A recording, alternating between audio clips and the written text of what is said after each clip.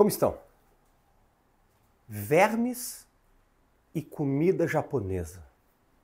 Sushi, sashimi, temaki, independente disso, é um assunto extremamente importante que pode ser algo grave e ainda é muito pouco falado e ainda pouco estudado. Eu sou o Dr. Fernando Lemos, eu sou coloproctologista e eu quero trazer um alerta que eu preciso que você compartilhe com amigos e familiares que gostam da comida japonesa.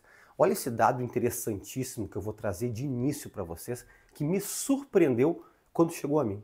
De 2018 para cá, aumentou o consumo de comida japonesa 283 vezes. Não é só no Brasil, que é no país onde eu estou falando, ao redor do mundo.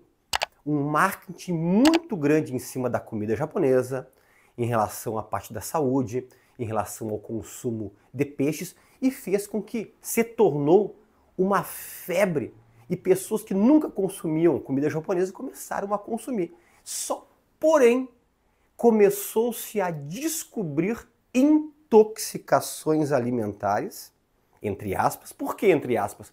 Porque na verdade hoje nós sabemos, ainda mais eu que sou especialista das doenças do intestino, que é um tipo de vermes específico, um tipo de parasita específico, chamado anissax.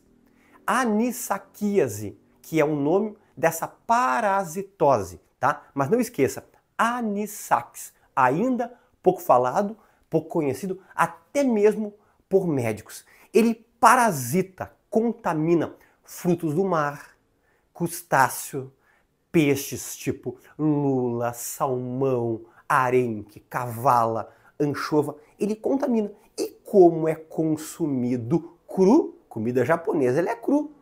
Esse tipo de parasita, esse tipo de vermes, ele pode estar completamente ativo, vivo, contaminando o peixe cru. Porque olha uma curiosidade, se nós aquecêssemos esse peixe a 65 graus apenas, nós conseguiríamos matar, inativar todos os malefícios que ele causa para a saúde. Porém, obviamente todos vocês sabem que a comida japonesa é consumir o peixe cru. E como isto acontece? A pessoa consome a comida japonesa contaminada e fica até o final que eu vou falar em relação à prevenção, cuidados e até mesmo algo que ainda tem muito litígio na parte médica. Que tratamento fazer? Logo nós falaremos sobre isso. A pessoa pode consumir a comida japonesa e dentro das primeiras duas, três horas já ter sintomas.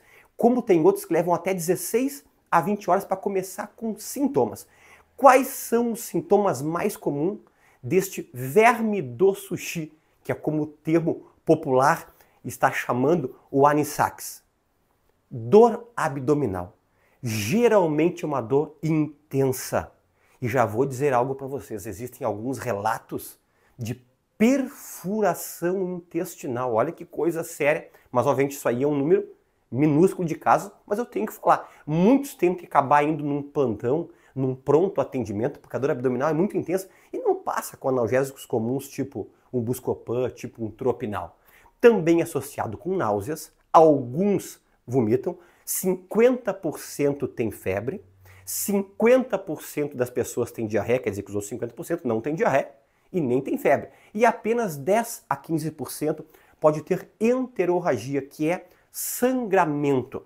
Mas para você entender, os principais sintomas são dor abdominal, muitas vezes intensa, e náuseas. Outras pessoas também têm associado com isso alergias, que fica um vermelhidão pelo corpo, a pessoa nota que fica um rubor, parece o rosto um pouco mais quente do que habitual. E muitas vezes isso aí passa por quê? É uma intoxicaçãozinha alimentar. E a pessoa não relacionou com a comida japonesa.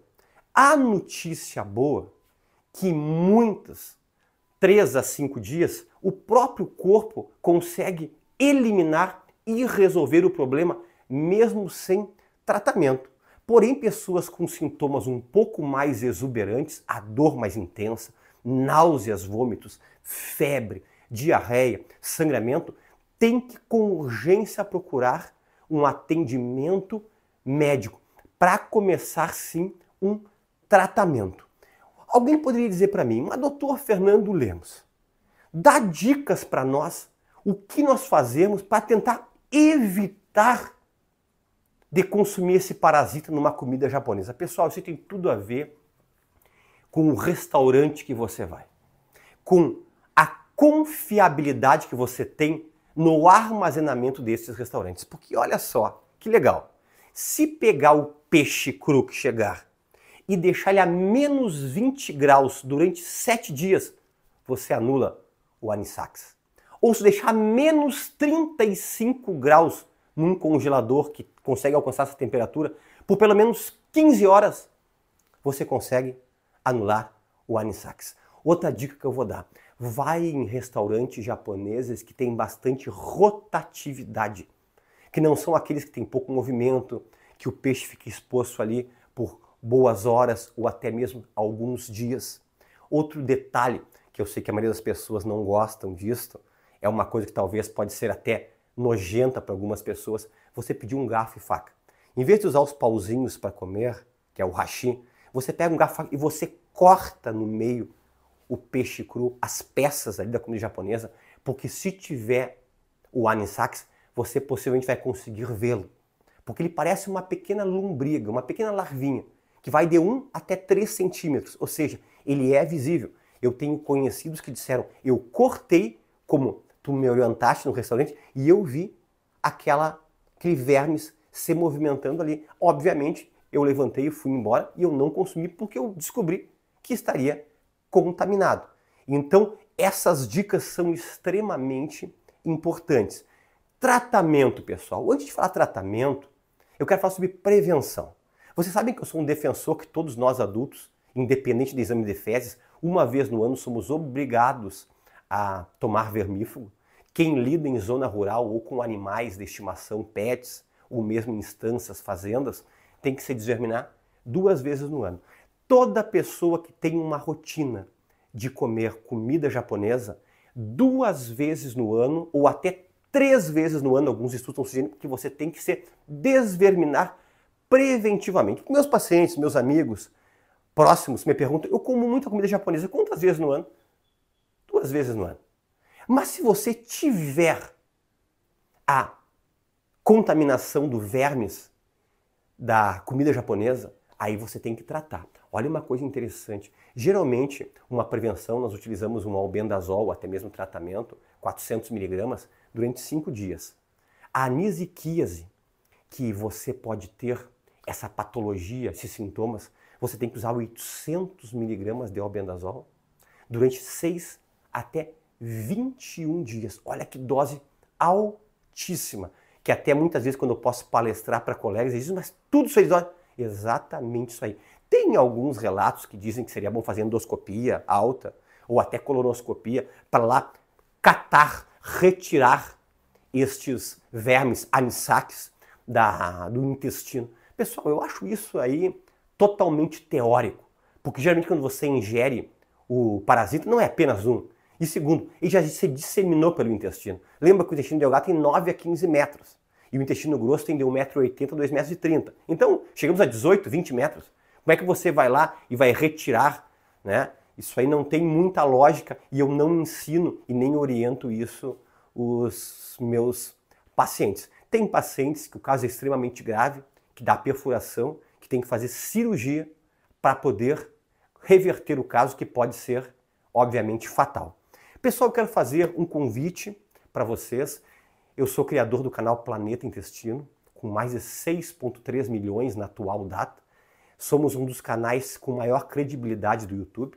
Só que tem pessoas que não são seguidores. É um prazer ter você conosco. Clique onde diz inscrever-se. Se você puder dar um like, curtir, eu ia te agradecer. E nós temos uma página no Instagram que eu trago um conteúdo diferente do que eu trago aqui no YouTube. E são informações, dicas diárias é dr de doutor, ponto Fernando, underline Lemos. Lembra que tem que ter o selinho azul do lado para mostrar que é o canal oficial, porque infelizmente estamos com mais de 100 páginas fakes no Instagram que já detectamos do doutor Fernando Lemos. Compartilhe esse vídeo, vai auxiliar muitas pessoas para livrar-se do verme do sushi. Abraço a todos, até um próximo vídeo.